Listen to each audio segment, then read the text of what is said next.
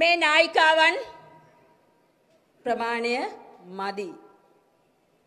ඔබ හැම කෙනෙක්ම මේ කුරුණෑගල දිස්ත්‍රික්කයට අලුත් මග ධෛර්යමත් කරන නායිකාවන් තමයි. ඒ නායිකාවන් එක්ක අත්වැල් බැඳගන්න ඒ සටන ගෙනියන අනිකුත් නායිකාවන් තමා මෙතනට මේකතු වෙලා තියෙන්නේ. ඒ නිසා අපිට තියෙන්නේ සාමූහික වැඩක් එක මිටකට එකතු වෙලා ගැහැණුන් විදිහට කුස්සිය මුල්ලට වෙලා අපි ගත කරපු කාලය අපි හිර කරපු කාලය අපි බැමිවලින් බැන්ද කාලය අදින් පස්සේ ඉවරයි. මෙරට අලුත් මාවතකට ගෙනියන ධෛර්යමත් සහෝදරියන් අද අපිට තියෙනවා. අදින් පස්සේ මේ ගමන වේගවත් කරන්න. අපිට පැවරුණ කාර්යභාරය ඒකයි. මෙතනට ඇවිල්ලා කතාවක් අහලා ගෙදරට යන්න නෙවේ. ගෙදර ගිහිල්ලා වැඩ පටන් ගන්න අපි හැමදාමත් වැඩ කරේ කුස්සියේ වැඩ. අපි හැමදාමත් පුරුද්දට වගේ රැකියාවට ගියා. ගෙදර වැඩක් කරන රැකියාවත් කරන අද දවසේ අත්‍යවශ්‍යම වැඩේ පුරවැසි වගකීමත් කරන සමාජ ක්‍රියාකාරණයක් විදිහට වැඩ කරන ධෛර්යමත් ගැහණියක් ඔබ වෙන්න ඒකයි අද අපිට අවශ්‍ය වෙලා තියෙන්නේ. එහෙමනම් ආදරණීය සහෝදරියනි. අපි මේ කුරුණෑගල දිස්ත්‍රික්කය ගැන කතා කරද්දී අද මේ ඇතුගල් පුරවරයට පැමිණි ඔබ දිහා මේ මහා රූක්ෂ ගල බලාගෙන ඉන්නවා. මේ ගැහැණුන් මේ තරම් ධෛර්යයෙන් එකට එකතුනේ ඇයි කියලා. ඒ ගැහැණුන් වන ඔබ එකතුනේ මොන අරමුණෙන්ද කියලා අපි දැන් රටටම කිව්වා. එහෙත් අපි දන්නවා. අපිට බාධක ගොඩක් තියෙනවා. අපේ ගමන ලේසි නෑ ලේසි පාසු මාවතක නෙමේ අපේ ගමන තියෙන්නේ. අපි කවුරුත් එකට එකතු වෙලා යන මේ ගමන ඉතාමත්ම අමාරු ගමනක්. මොකද මෙතෙක් රට පාලනය කරපු මේ දූෂිත පාලකයෝ අද මොකද වෙලා තියෙන්නේ? ඔක්කොම එකට එකතු වෙමින් පවතිනවා. කාට බයේද? අද මේ සියලු කැලි කසල ටික එක ගොඩකට එකතු කරන්න බල කරේ කාන්තා සභා දිස්ත්‍රික් සභා කියන එක අද අපි ඉතාමත්ම වගකීමෙන් කියනවා බය වුණේ ඔබට? බය වුණේ ඔබ නිසා සලිත වුණේ ඔබ නිසා ගැහැණු එක මිටකට එකතු වෙද්දී ඔබ ගමේ දේශපාලනය කතා කරද්දී අපි ඉන්නේ ඡන්ද දෙන්න විතරක් නෙමේ කියද්දී අපිට අයිතියක් තියෙනවා. අපිට ඕන රටක් හදාගන්න කියද්දී සලිත වුණේ සාම්ප්‍රදායික දේශපාලන පක්ෂ. ඒ නිසා අද එක කණ්ඩායමකින් පන්නද්දී තව කණ්ඩායමක් කට්ටිය මොකද කරන්නේ? එකට එකතු කරගන්නවා ලැජ්ජරතුව. මොකක් කරන්නද? අපේ දරුවන්ට අනාගතයක් හදන්න. අපේ ගෙදර තියෙන ආර්ථික ප්‍රශ්නෙට කන්න බොන්න දෙන්න උත්තර හොයන්නේ. ඒකටද නෑ. මොකටද? ඇයි එහෙන් මෙහෙට පනින හොරු ටික අත් දෙක උස්සලා දෑත් වලින් බදාගන්නේ ඇයි? බලය සඳහා. බලය මොකටද? මේ රට විකුණන්න. අපේ නිදහස අහිමි කරන්න. අපේ මේ පුංචි රට බහුජාතික සමාගම් වලට විකුණන්න. අපේ තියෙන මහ මුහුද දෙන්න.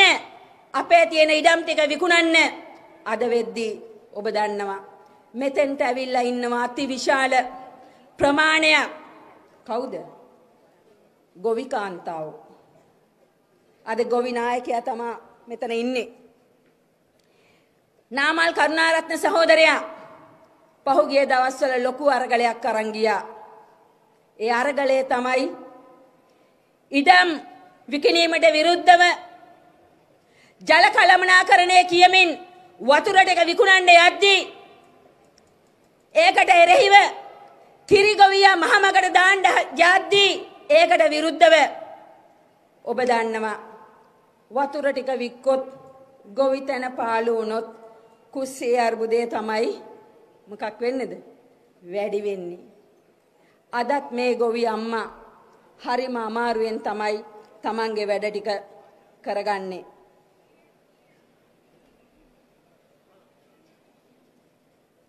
ඒ නිසා හෙට දවසේ අපිට ලොකු අභියෝගයක් තියෙනවා අපේ ඉඩම් ටික අපි ආරක්ෂා කරලා දෙන්නේ කොහොමද දරුවන්ට? ඒ වගේම තමයි අපේ වතුර ටික බේරගන්නේ කොහොමද? අපේ රස්සාවල් ටික බේරගන්නේ කොහොමද? අපේ දරුවන්ව මේ කුඩු මත්ද්‍රව්‍ය වලින් ආරක්ෂා කරන්නේ කොහොමද? පුංචි දරුවන්ට නිදහස් රටක් හදන්නේ කොහොමද කියන අභියෝගය තියෙනවා. හැබැයි ඒ අභියෝගය සියල්ල පැත්තකින් තියද්දී අද වෙද්දී අපේ රටේ මේ දූෂිත නායකයෝ නැවතත් ඔබ ළඟට ඇවිල්ලා බෙදන සංස්කෘතිය ඒ දුගී සංස්කෘතිය ආරම්භ කරන්න උත්සාහ කරනවා. එනිසා අපිට ඊට එරෙහිව අපේ ගමේ ඉන්න හැම ගැහැණියක්ම දේශපාලනිකව සන්නද්ධ කරන්න අපිට වගකීමක් තියෙනවා. එනිසා ඒ සඳහා ඔබ එකට එකතු විය යුතුයි. මොකද අපේ රටේ ගැහැණුන්ට දේශපාලනය අවශ්‍ය නැහැ කියලා අතීතයේ ඉඳන්ම මේ රටේ පාලකයෝ කිව්වා. පාලකයෝ ගැහැණිය ගෙනාවේ පෝලිම් වලට ඡන්ද කාලෙදී නැත්තම් කුස්සියේ මුල්ලේ. එතෙන්ට තමා ගැහැණිය ලඝු කරේ. හැබැයි මෙන්න මේ මුතු විසි කිරීම කියන පොතේ තියෙනවා මේ පොත ලියලා තියෙන්නේ මාලතීද සිල්වා මාලතීද අල්විස් සහ කුමාරී ජයවර්ධන. ඉතා විශිෂ්ට සමාජ ක්‍රියාකාරනිකම් පර්යේෂිකාවන් දෙන්නෙක්. මේ රචනා කරලා තියෙන පොතේ තියෙනවා හරි අපූර්ව එකක්. ගැහැණුන්න කොහෙද තියන්න හැදුවේ කියලා. ගැහැණියට ඡන්ද බලය දෙන්න ඕනේ කියලා යෝජනා කරද්දී 1927 දී මෙන්න මෙහෙම කියනවා එක්තරා දේශපාලඥයෙක්. ඌරන් ඉදිරියේ මුතු විසි නොකරන්න.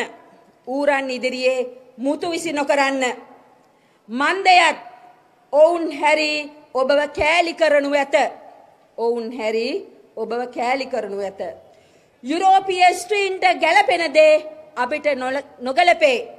ඡන්ද අයිතිය ගැලපෙන්නේ නැහැ. කාටද? ශ්‍රී ලංකාවේ ස්ත්‍රීන්ට ගැලපෙන්නේ නැහැ.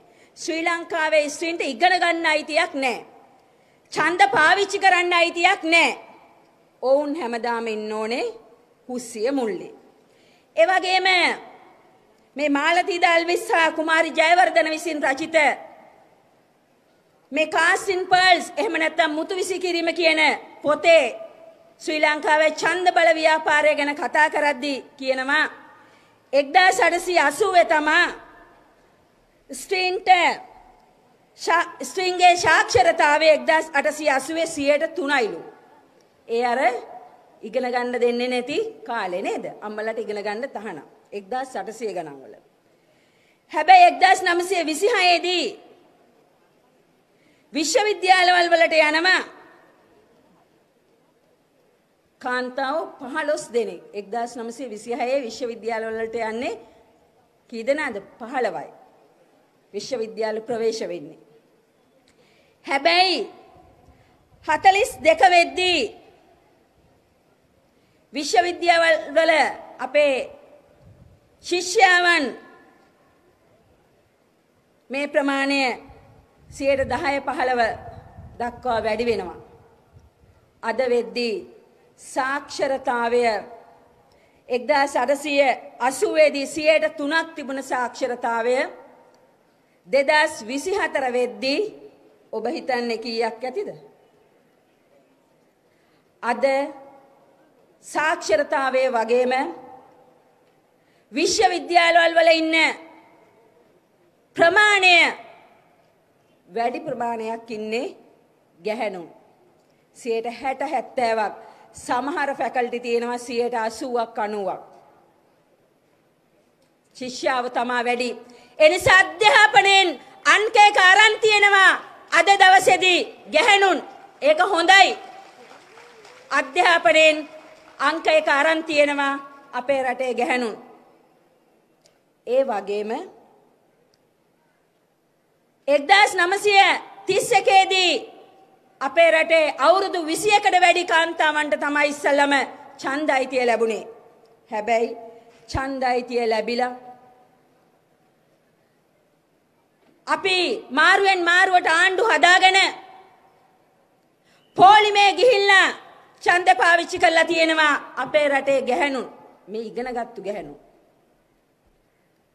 වෙනදට වැඩිය ගැහැණුන් ඉගෙන ගන්නවා තමයි හැබැයි අපේ රටේ ආකල්පමය වශයෙන් වෙනසක් ඇති වුණේ නෑ ගැහැණුන්ට තියෙනවා ඉගෙනගෙන විශ්වවිද්‍යාලවලට යනවා වගේම තීන්දු තීරණ ගැනීමේ අයිතියත් ගැහැණුන්ට තියෙන්න ඕනේ.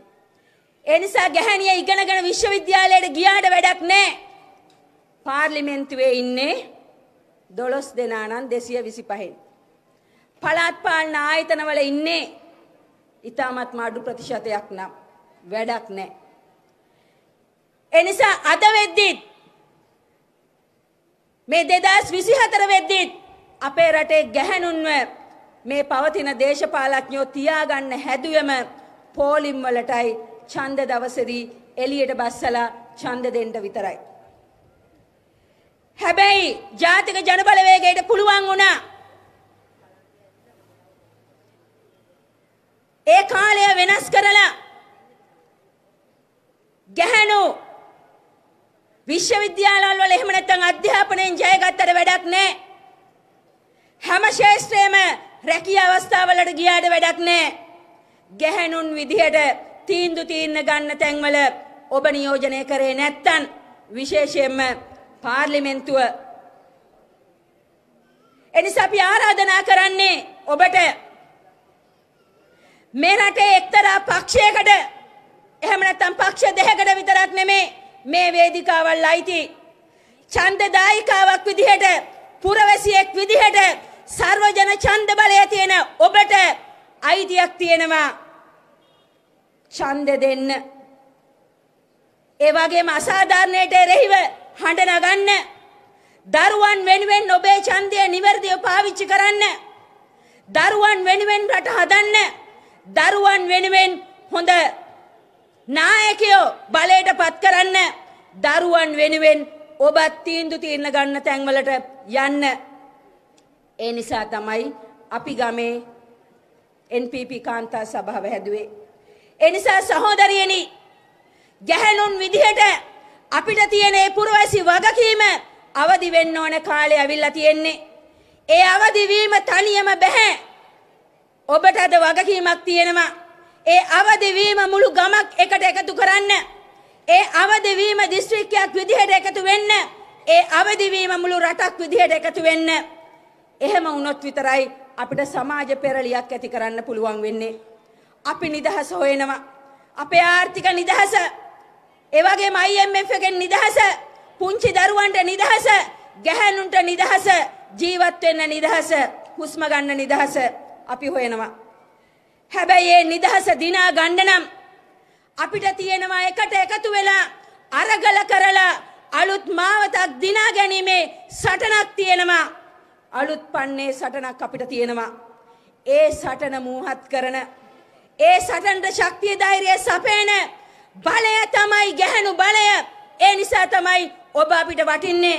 ඒ නිසා අපි ආරාධනා කරන ඔබට එකට එකතු වෙන්න දේශපාලනය කතා කරන්න කාක් පිහාටු වලින් අපිට වැඩක් නැහැ. අපි හදන්න ඕනේ ජීවත් වෙලා hina වෙලා ඒ වගේම ගරුත්වයකින් අනිකාට ආදරෙන් කතා කරන සමාජයක් අද එහෙම එකක් නෙවෙයි තියෙන්නේ.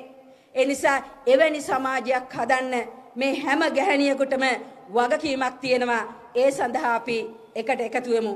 ඒ වගේම තව ආරාධනාවක් තියෙනවා කුරුණෑගල දිස්ත්‍රික්කයේ විධායක සභාවට ශරීනා උම්මා සහෝදරීට මේ වේදිකාවට ඇවිල්ලා අසුන් ගන්නා ලෙස බොහොම ස්තුතියි.